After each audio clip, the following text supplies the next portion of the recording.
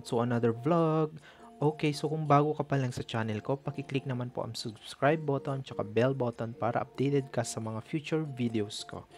Okay, so for today's vlog guys is mag-install tayo ng bagong dining chair. So as you can see, itong lumang dining chair namin is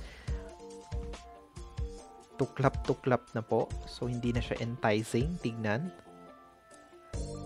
Tapos yung nabili namin na bagong dining chair, actually kakarating lang niya ngayon.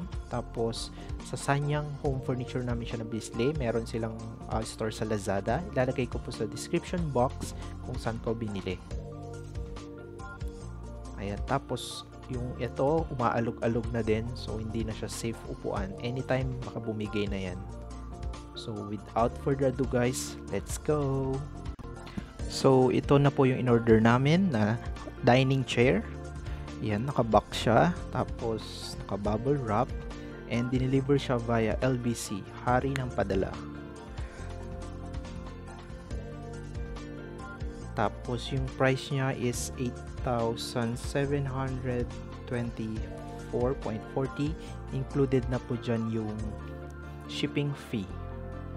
Tapos, may label na fragile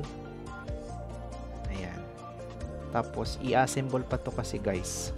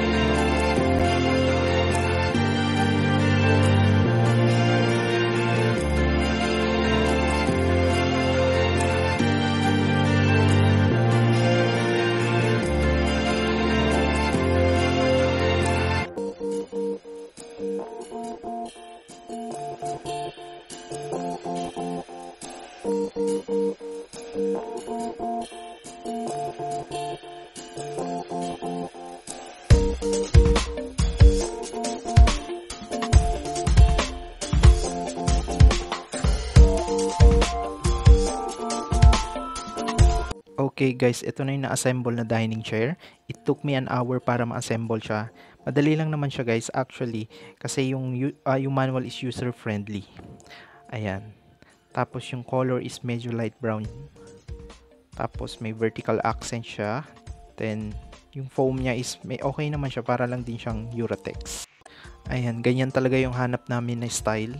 Hindi siya boring tignan that's all for my video guys. Don't forget to like and subscribe to my channel. Thanks for watching. Again this is Jayan and I will see you again next time. Bye